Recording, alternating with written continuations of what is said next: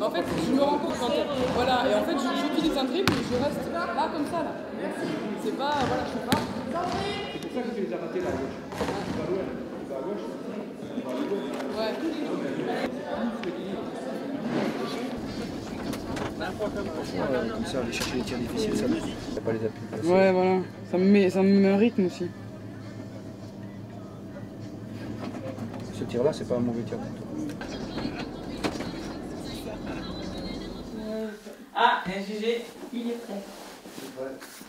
Ouais, ma, ma prise de tir et la manière dont je les prends, il me disait il faut que tu, euh, que tu prennes le temps de, sur des tirs.